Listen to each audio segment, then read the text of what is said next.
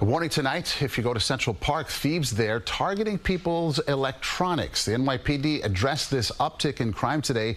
There have been 18 robberies this year in the park, up from four the same time last year. Grand larcenies also up.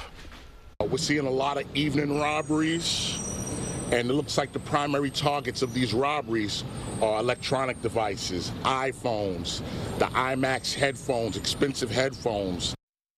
NYPD leaders say they've significantly increased the number of officers assigned to Central Park. Police have also increased the number of security cameras in the area.